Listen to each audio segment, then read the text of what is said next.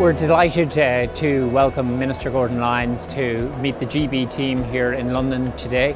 We met with both GB Trade and the Global Inbound Trade for a good discussion about tourism and Northern Ireland, the prospects for 2021 and 2022. There's more optimism out there.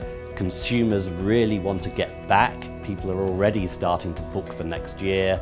They're seeing that we're gently coming out of the pandemic era and that they can travel safely and securely. So I think next year is going to be really strong for Northern Ireland and for the island of Ireland as a whole. You know, the whole giant spirit of Northern Ireland, all the tourism that's going on there, even notwithstanding the problems that are faced across Europe, Northern Ireland remains in high demand and that's great for us.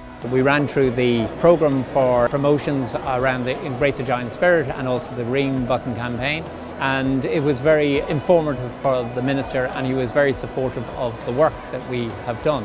Tonight we're here at the Guildhall uh, for the 19th Flavours of Ireland event.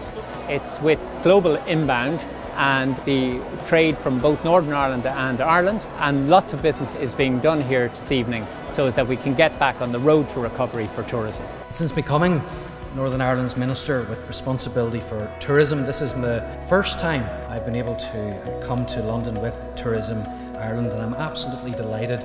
Isn't it great to see business being done face to face once more after doing meetings virtually for so long? Uh, of course, tourism is and will continue to be an incredibly important part of industry in Northern Ireland and indeed for the entire island of Ireland.